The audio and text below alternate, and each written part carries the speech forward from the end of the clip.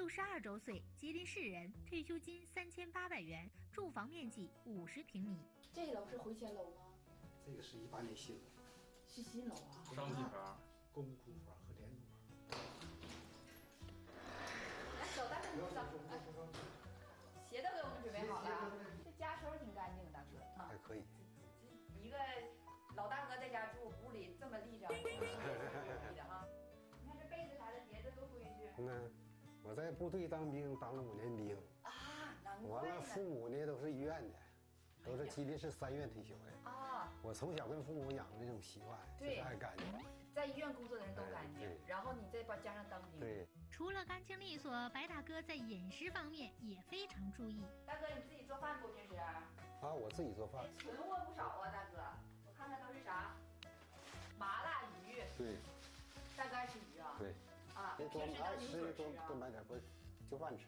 就饭吃的。它有点甜，有点咸的。你是很喜欢吃鱼吗？嗯，没事吃点，能吃一点。能吃一点对呀。啊。平时还喜欢吃啥？吃吃那个菜呀、肉呀啥的。肉我不吃，我不吃啊。我吃那个就是那什么，除了肉不吃，能吃点鱼，吃点蛋。啊，你是刻意不吃肉吗？也是一个养生吧，我爱好。以前吃，一二年以前吃。那一点不吃能行吗？没问题。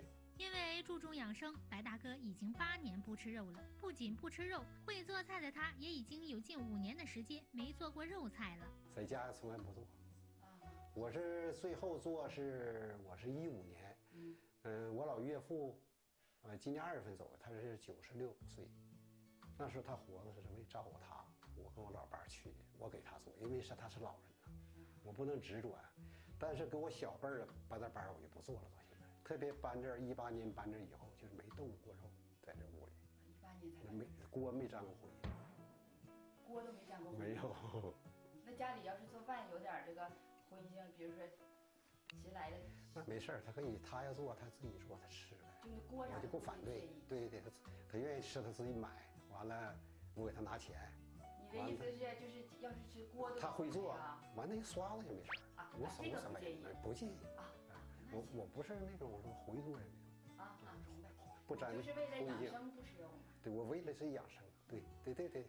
白大哥说，他之所以选择戒肉养生，正是源于2011年他无意间在手机上看到的一个医生讲吃肉的视频。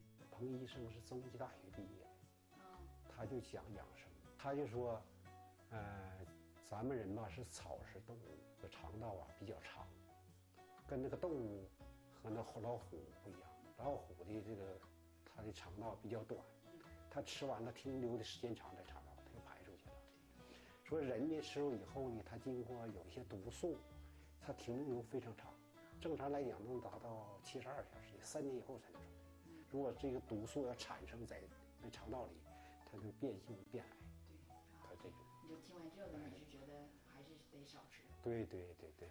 除了在饮食上注意养生外，白大哥还坚持走步锻炼，每天至少一万步。同时，他也很注重生活环境对身体的影响。每年十月份后，他都要跟老伴儿一起去海南生活半年。我我喜欢上海南那个，它那气候好，它那空气好，它那质量天天是优优的。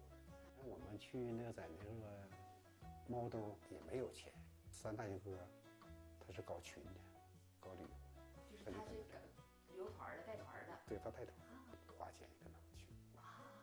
那边租房子一般都正常五百，有的再高点六百、七百、八百，但是房间不一样。你要八百间，一个月呀？一个月啊，那也不贵。他不贵，它不是三亚啊，不是三亚海口。我说那是东方市。东方市啊。三亚吧，他那个吃的和住的贵。白大哥说，他和老伴儿已经连续三年去海南过冬了，到那儿生活既能保养身体，又经济实惠，实在是一举两得。如果不是因为老伴儿去年年底因病离世，今年这个时候啊，他们又要准备出发了。肝，发现的时候他就是晚期了。那是。那你原来没有啥症状？一点症状都没有，肝癌没症状。那你那是为啥上医院检查去了？他就是咳嗽消瘦。完了到三亚检查，嗯啊，那你是在海南的时候发的病啊？啊，对，就在那儿，在那儿得的，完在三亚看的。二零一九年十二月十五号，老伴儿离开了人世。白大哥这时才真正意识到啥叫人没了。这人在吧没觉啥，但一走了以后，确实很难受，就不能想。我有时候不少视频都在手机里，我不敢放，我一看我就难受。对白大哥来说，只有再找一个伴儿，才能真正填补内心上对老伴儿的想念。生活方式就是这样，尽量把钱就不用用在吃上。对方就是那个不太爱吃肉，也不是那么太执着，多少吃一点，也不反，少吃一点也不反对。我要找了一个相当老伴儿，可以旅游，也能上海南，到全国各地呀都能旅游。白大哥就想找个不太吃肉的老伴儿，以后一起去旅游。红娘就想到了同住在吉林市的王艳丽王大姐，她会是白大哥要找的人吗？你好，是王大姐吗？是是你好，你好，我是红娘小关。啊，你好，你好，哎哎。王艳丽五十七周岁，退休金两千三百元，常年做护工，无住房。白大哥啊，你好，你好，你好，你好，你好，你好。这是卫生间，卫生间，这个厨房，这是一室厅。嗯嗯，扫视五十点一二平米，挺好，做干净利索的。大哥爱干净，就平时收拾屋啥的，啊，你看这这小屋，挺干净，干净亮堂。嗯，你今年多大岁数？我今年六十二周岁。啊一八年，属啥的？属狗。我想找个属狗的啊。嗯，人家属兔的。啊，我我六三的。六三年。嗯，对，哎，有好多人都说在。嗯，属兔和属狗的好。初次见面，双方印象都还不错，而且白大哥的属相更是王大姐所中意的。刚坐下来，王大姐就直接跟白大哥表明了择偶态度。我的就想着找一个吧，就不藏心眼儿，不管有多有少，咱俩就在一起，就是有话就说到明处。哎，互相得到信任啊，承认。你其实人吧，我认为就像他们都理解错，其实后半生是最重要的。对呀。你年轻，你奔波点儿那都无所谓，就老了，你就说有的男的，哎呀，厚道一起，防贼防盗的，你说完了房子给儿女是这那的，你最后你防了，人家女的，咱们找你，我我就说一个最简单，因为我我现在做护工，我明天就就上户，就他上医院，我一个小时十块钱，我一天一宿二百四，就是我这个我不干了，我可以上家当四千五千，我都给他看，我专门有家政群啊啊，一直在干呢。啊，那你现在，呃，姑娘儿子？我儿子，我俩儿子都成家了。俩儿子这个，哎，我看出来了，我听这话有压力。他要没压力，他不可能打工。像我们这个岁数都老年了，就得在家痛高高兴兴的生活，有个伴儿，出去天天锻炼、唠唠嗑，出去旅游。现在我这么大岁数了我，开三千八百块钱，钱也够花。我这钱干啥用呢？我有钱。去那个旅游养身体，对，哎，现在咋的？没有那些欲望，不是再去拼命了，啊，哎，再去拼搏了。你有劳保，钱也够花，找一个伴儿，就高高兴兴，想怎么活怎么活。我问题，我现在我买保险了，我的工资我一年全买保险，我三万多保险，商业保险、理财的保险，完有有一个重大疾病的保险，我买了七八份呢。我所以说我就得出去干去，就是因为保险啊，我要不差这保险就不用。孩子都挺省心的，我就是我自己管我自己啊。王大姐之所以现在还很拼，并不是因为儿子带来的压力，而是她每年要交三万块钱的理财保险，等老了后自己也能多个保障。白大哥心中的顾虑打消了，但接下来当他们聊到彼此的生活习惯时，却让白大哥再次有了新的担忧。对我正好和他相反，我一直贫血，血压低。我必须得营养那啥，我我吃不了素，我要能吃素，我刚离婚前我都能出家，但我现在吃的少，我现在我也控制，尽量少也少吃点肉。我得要求你对方呢，就是说，说不是绝对吃肉，就是吃肉少一点，尽量还是要求吃素。哎，那这个这一点也是，他也吃的不多，就这点你会介意吗？他不是那么说，他吃他爱吃。他说不吃肉对身体不好，你身体需要，白大哥希望找个吃素或者少吃肉的老伴儿。虽然王大姐也说自己会尽量控制吃肉，但白大哥却觉得，既然王大姐是因为身体需要吃肉，那么在实际生活中要一直少吃肉是很难做到的。最终就因为这个吃肉的问题，两个人没能走到一起。咱们见着就缘分，行行行，以后有机会咱再见面。找到另一张艳军，五十八周岁，退休金两千四百元，住房面积五十八平米。是愿意穿，愿意穿。我那衣裳有都是各式各样的，这都是。啊，那大姐，你那个穿衣服平时都在哪儿？愿意美的话，在哪儿买衣服？我没准儿哪都买，看我就是溜达，看相中了我就买。啊，那一般都是买啥价位的？三五百的。上千的有没有？上千有，冬天呢上万的有，上万的 有啊！哎，我给我瞅瞅来来啊，长貂。哎呀，这在哪儿买的呀？嗯，在那个皮草批发城，就是在吉林市呗。嗯啊，好看，好看，嗯，符合你气质。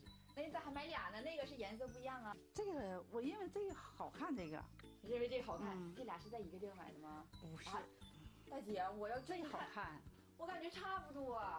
就是这个样式好看啊，就是短款。嗯，这样式好看。我知道你喜欢这种颜色，还是喜欢这种颜色，但是就是找一个不一样的款型。对，啊，买一个长点儿，一个短短一点的呗。是，嗯，我这旗袍好。哎呀，给我看看旗袍。这个这个旗袍一千多，好看，好看。哎，现在真的能穿能驾驭旗袍的人也不是特别多，就好多也不穿了。啊，我吧就好像要有点偏胖的哈。穿旗袍好看啊，对，有点那种富态的那种感觉。嗯呐，除了爱穿，张大姐还愿意出去旅游。以前总旅游，有一年我花了那六万多去旅游。上哪去了？哎呀，就厦门、港澳，就是在买东西啥的哈。云南，哎呀那买的那真的，家里有时候都装不下了。完了后期我都慢慢，差的不喜欢就都扔了。挺好，这个岁数的人就享受呗。主要是一个人没意思。张大姐说：“自从2010年离婚后，她一直一个人生活，除了穿戴旅游，实在没啥别的事儿干。而说起离婚的原因，张大姐百感交集。我们这些年感情一直都挺好的，嗯，后期呢，他也是搞工程，搞工程天天不在家喝酒，天天喝去，基本一年三百六十五天呢，三百天都醉呀，喝喝酒后期就失态了。”失态到啥程度？别人都给他抬到家里头。有一次喝酒喝多，那时候没房子呀，在皮间住，孩子在窗户那块单人床，俺就在这双人床。他呢全脱呀，我那么给他盖都不干呐。孩子多大呀？孩子已经十多岁了都。女孩？女孩啊，我那炕被呀，两层大厚大炕被呀，都十多斤一个呀，全尿透了都。晚上睡觉站起来就尿。开开立柜门就尿。最初因为张大姐对丈夫有感情，每次她都选择了隐忍和原谅。第二天，醒酒了，跪着求我呀，不喝不喝了都。还就醒。其实他清醒的时候还是一个挺，清醒是个好人。嗯就是酒把他给耽误了。嗯。那他他跪着求你啥的，那你你会不会也就是心软呀？是有总这样式的，成年到位这样式的。原谅他，完孩子还喝。张大姐的多次原谅也没有换来丈夫的彻底悔改。二零一零年，女儿在韩国结婚定居，他们便彻底结束了这段婚姻。如今再找老伴儿，张大姐的首要条件就是对方不能喝大酒。酒呢，少量喝点行，干净利索，人品好。张大姐想找一个少喝酒且干净利索的人，这说的不就是白大哥吗？大姐，哎。你好，你好，张艳军张大姐，这忙活啥呢？做点饭。来看看看大姐做的啥？听说你也不吃肉。嗯，对。啊，整点。对，大哥大哥不吃肉，然后准备的都是素菜呀。嗯，都素菜。哎呀，大姐，谢了，谢了。感动我，这么为我着想，感动我，太感，太感动。为了迎接白大哥的到来，热情的张大姐特地在家提前准备了不带肉的菜。看张大姐这么周到，白大哥也不把自己当外人了，主动要求剩下的菜他来做。我帮你炒行吗？你帮炒啊？行行啊，行行，那来吧。大哥。啊，会做呀，做饭呢。哎呀，大哥啥都会做。我就一般化。是吧？大哥。怎么炒？这些这些盐行吗？我这些，那里头。什么年龄好像淡淡点儿。得淡点儿啊，再搁点儿呢。这些多不？行行行。行啊。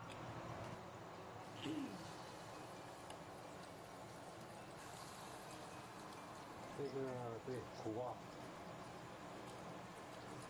这都是绿色食品。还有一个菜，土豆片。